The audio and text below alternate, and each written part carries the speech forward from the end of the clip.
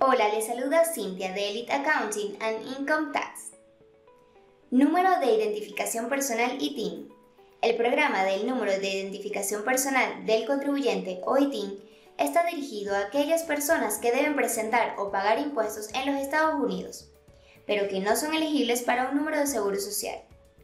Un cambio de ley requirió que aquellos ITINs emitidos antes de 2013 expiren, y el IRS todavía se encuentra en el proceso de renovarlos. Se irán tomando en cuenta los números del medio de los ITINs.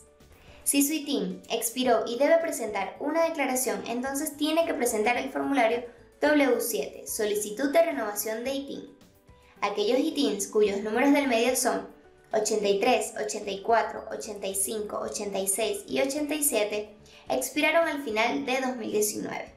Además, si un ITIN no se usa en una declaración de impuestos por tres años consecutivos, entonces expirará el 31 de diciembre del tercer año.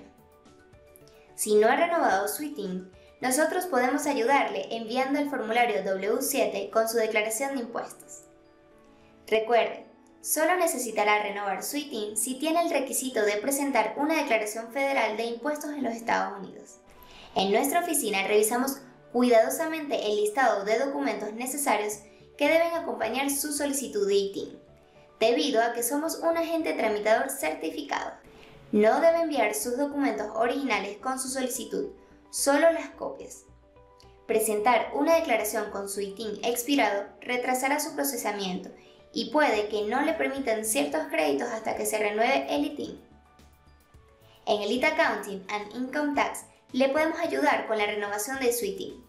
Visite nuestra página web www.eliteaccountinginc.com o llámenos al 772-337-7442 y con gusto le ayudaremos.